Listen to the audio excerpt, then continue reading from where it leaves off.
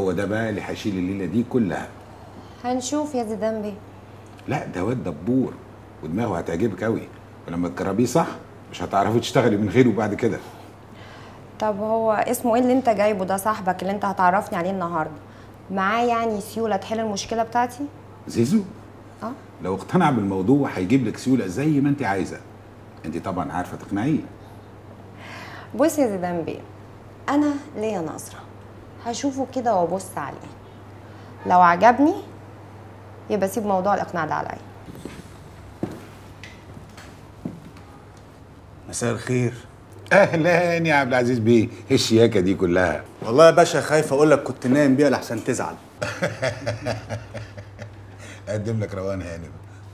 بونسوار صغار إيه؟ بتفتكر إيه؟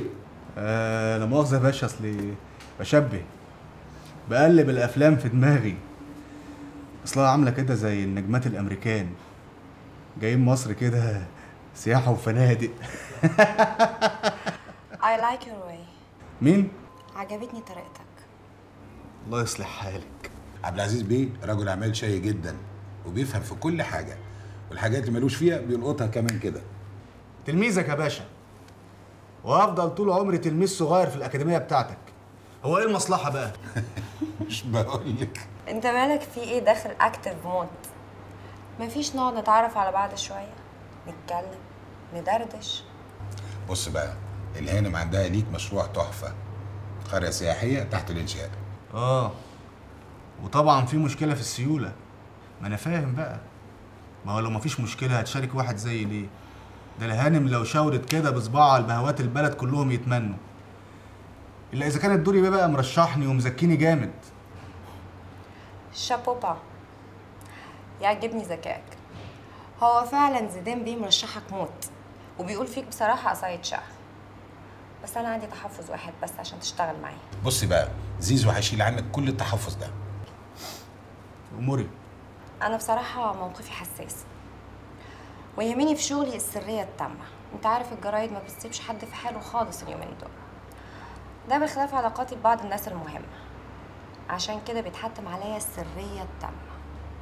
والسؤال دلوقتي هتقدر على ده؟ ساتك ولا كأني سمعت حاجة. بس أنا كمان لا مؤاخذة يعني ليا تحفظ صغنن قد كده يعني يتيم. إيه هو؟ نفتح الموضوع ده لما أرجع من السفر. أنا هغيب قد يومين كده بأمر الله. اوه ماي جاد على فكرة أنا بحب السفر موت.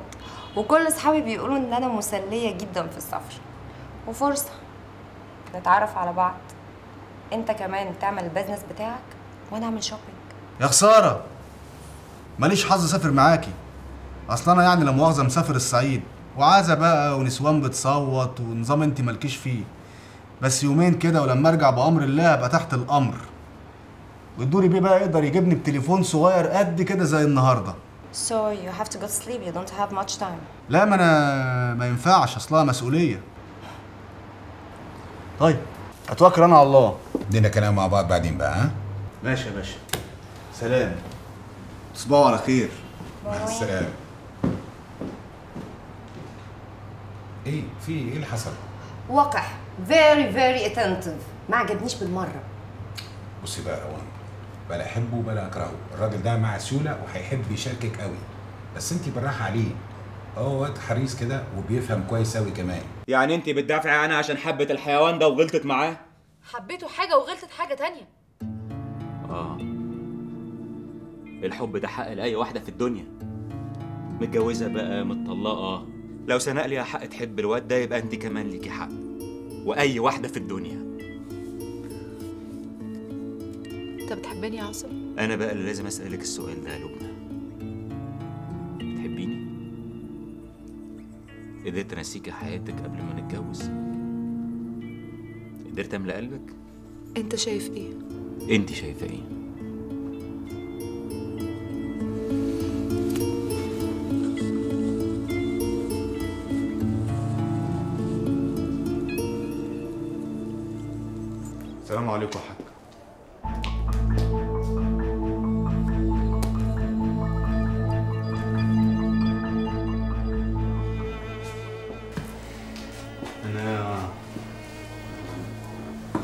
بدري يا حاج عايز أجيلك. واتكلم معاك بس كنت مستنيك يعني تروق. قول أنا سامع إحنا قبل أي حاجة يعني عايزين ننسى الماضي عشان العبد اللي جاي لك ورسول الله نيتي خير. قبل أي حاجة أنت ليك امانه عندي. والخزنة مليانة. عشان لو عايز تضربني من النار اعملها.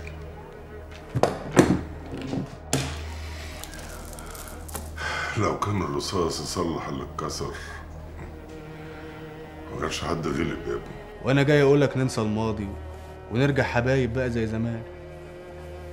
معلم أنا طالب منك يعني لا مؤاخذة يعني تحط الباترينا بتاعت المحمول بتاعتي عندك. ويا ريت بقى ما ترفضش المرة دي. صدق أنا كنت فاهم إنك جاي. عشان تطلب إيد البنت دي وتنقذ سمعتها اللي دمرتها. هي وأبوها.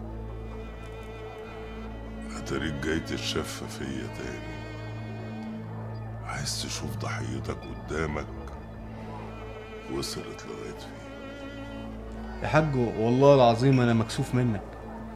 يعني أنا النهارده لو طلبت إيد بنتك في حموتها كده أكيد هترفض.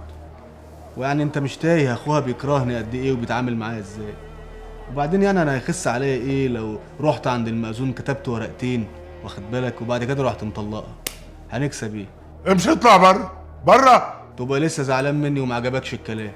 امشي اطلع بره. اطلع بره قبل ما اخلص عليك. ما انت لسه قايل ضرب النار ما بيحلهاش. انت لسه عايز مننا إيه يا عم انت؟ تبقى انت اللي كنت قاطرنا عطية. يا عم إحنا مش عايزين نشوف وشك هنا في المحل. ربنا؟ يهدك يا عم. ينفع كده يا معلم؟ أيوه ينفع مش. عايزين نشوف وشه يا عم الحاج. الله يخرب بيتك يا عم. قضية وصلني مش قادر. ده انت يا حاج؟ ربنا يهدك. الف سلامة يا حاج. ربنا يهدك يا زيزو. ازيك يا عاصم؟ بيه اطلع معايا يا عم اطلع معايا عشان ما تقعدش هنا. يلا. إيه اللي جابك هنا؟ يا عم؟ أنا اسمي عبد العزيز. عارف أنا لو شفتك هنا تاني هعمل فيك إيه أعمل لك إيه عشان تحترمني؟ أعمل لك إيه عشان تعاملني على إني بني آدم زي زيك؟ وأنت بني آدم يا ده أنت برص. أنت عارف أنت لو خروف أستخسر فيك الرصاصة اللي ضربتها لك قبل كده ودفعت ديتها. يا بايع دمك. ماشي. وأنا مش هرد عليك. وعشان تعرف إن أنا ابن أصول اتفضل.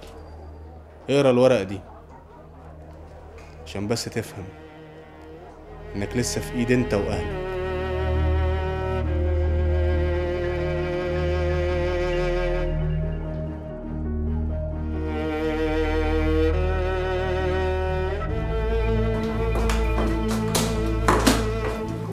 فين؟ في أوضتها يا ابني.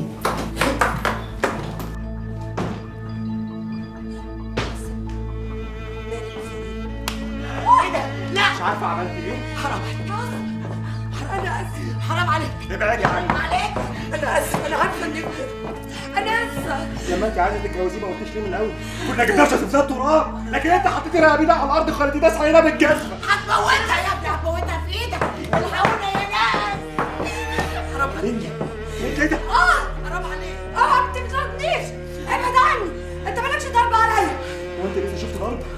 ده أنا هضربك وأدفنك هنا. حرام عليك. ارحمها يا ابني ارحمها ابعدي بقى. ابعد عني انت بتشطر عليا ليه؟ ما تروح تشطر على مراتك. أنا حبيته ما عذبتش زي ما هي حبيته وما قدرتش تنساه لغاية دلوقتي. ولولا ما كانتش اتجوزتك ولا هو كان ماشي ورايا.